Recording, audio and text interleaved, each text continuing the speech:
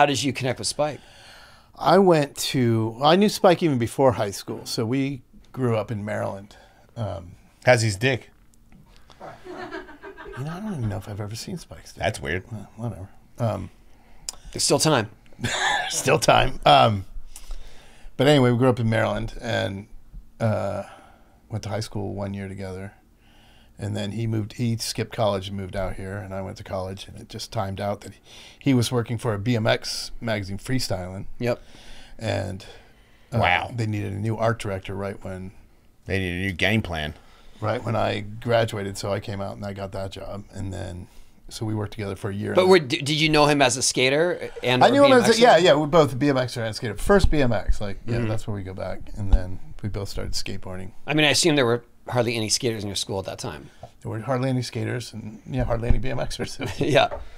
yeah, I used to get bullied for wearing Vans back in like junior high school. Like Now every kook's wearing them. right, but it's like you know they're so.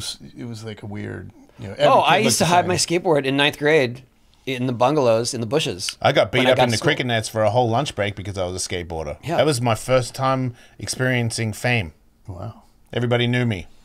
Aren't you the guy that got beat up in cricket nets for that? And I was like, I am. Hell yeah. Yeah. And then the rest is history. Cricket nets. I was actually I was uh, on sponsored on the verge of turning pro, and I was getting harassed in school. Like Yeah. I had to I had to not pretend like I didn't skate.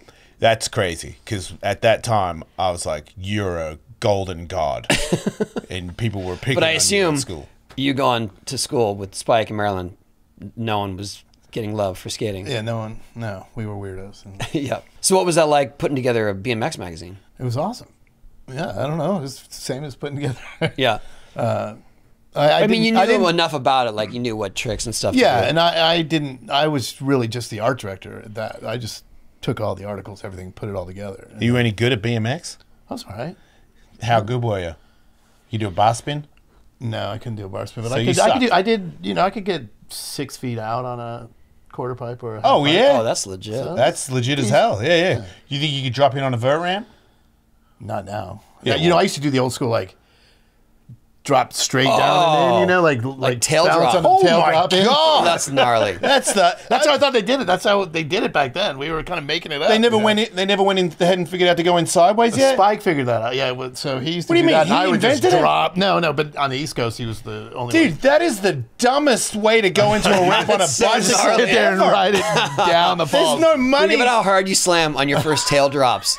yeah, like a BMX, slam on that's just like guaranteed headbutt to the Straight flat. to the flat, yeah. You could do that. And I had coaster brake, you know, so you just balance on that coaster brake and then let it fall. And Nah, That's pretty sick. no We way. need a video of someone doing that. Yeah, I might have one somewhere, but I don't know. I mean, anyone. But if we have one of you, all the better. yeah, yeah, yeah. But I was, yeah, I was just real heavy-footed BMX. Like I, I break shit, break the ramp. Yeah, I can relate. Did you? So did you and Spike identify with each other? Like, oh, we love chaos. Yes. Yeah. Pretty much. Like he worked at this. Uh, it was called Rockville BMX. It was like the biggest bike shop on the East Coast. And he was like a little kid. He was like twelve, and that's where I would go get all my parts and hang out at the shop. And it was it was you know, just a fun, crazy group of people. That so yeah, chaos was already built into it. But I'm, I'm so curious because I I just remember. I mean, I saw the beginnings of of Big Brother and eventually Jackass. Spike was always pivotal in all of that, um, because he just loved it. I mean, he lo- you know even when World started, like he loved Yeah. Rocco and Jeremy because they were just out of control. And, And, no one, and everyone thinks he's just this little arty guy who just does, Yeah. you know, nice, you know, smart movies. But like, um, yeah, one time we were go- we were going down to shoot Matt Hoffman. We were going down to San Diego, and uh, our uh, freestyle had this minivan, like a Chevy Astrovan, and we had a big bike box in the van. And uh, he was driving, and I'm riding shotgun. We're going down the five. He's driving about like 80, 90 miles an hour, and he puts it in cruise control. And then he just bails out of the back. He's like, hold the wheel. And I'm like, holding the wheel over the bike box. And then he bails out of the back seat and goes and sits in the back of the van. Yeah, And he won't come back. And so I'm like, oh shit. And I can't get to the. yeah. oh my so if, god! if at any point, you know, like traffic, which, you know, Yeah. anyone who's driven in LA knows that it comes to a stop quick. So I know- know, you know, weird that I respect him more for that story? He did all kinds of shit like that. Like, like yeah,